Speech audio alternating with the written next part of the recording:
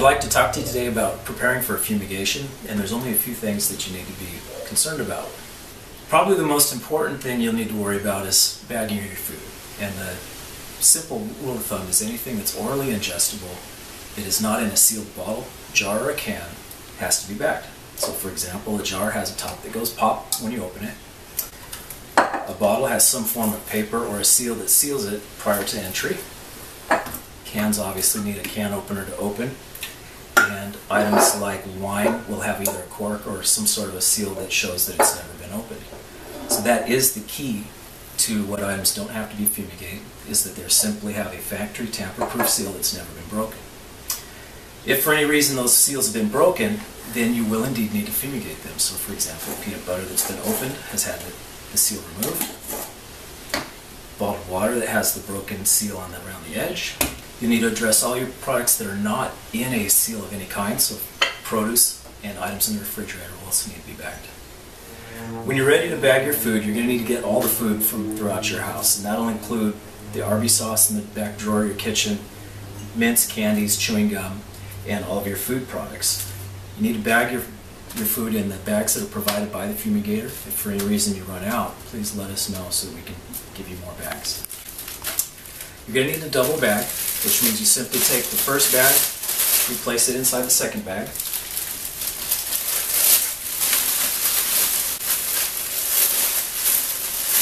just like that. Then you place all of your food that's either opened or has inappropriate seal inside the bags. Go ahead and place all your food products in there. You're going to take the inside bag, you're going to twist it, you're going to kink it over, and that creates the seal we're looking for. You simply hold that seal with masking tape, rubber bands, or twist ties. Once the inside seal's been done, do it one more time.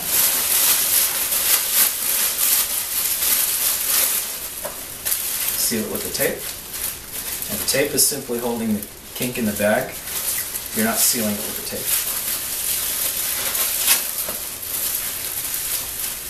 Once that's completed, you can leave this finished bag anywhere you like. If they do have refrigerator type items, place that back in the refrigerator. And since it'll probably be larger than it was, if you simply remove the, the drawer or the shelf, you can set the whole bag inside. One note, squeeze as much air out of it as you can because if that bag holds the door open, your food's going to spoil. Your fumigator will need access to all the interior spaces within the structure. All the doors will be locked during the fumigation will never be left open and the windows will also be locked in position.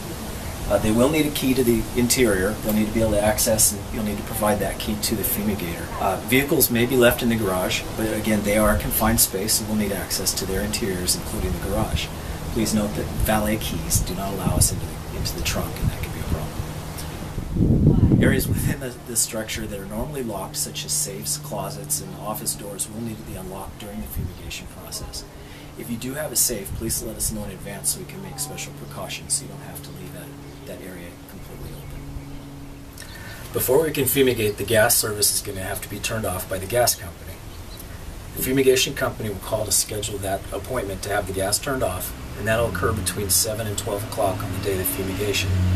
You won't have to meet the fumigators for that part. You will need to call the gas company to schedule the restore appointment. Uh, that appointment will be on the day you return home. You can schedule that as early as 12 o'clock, and you will need to meet the gas company let them in. They'll want to check all your pilots to make sure that they're operating before they turn the gas back on.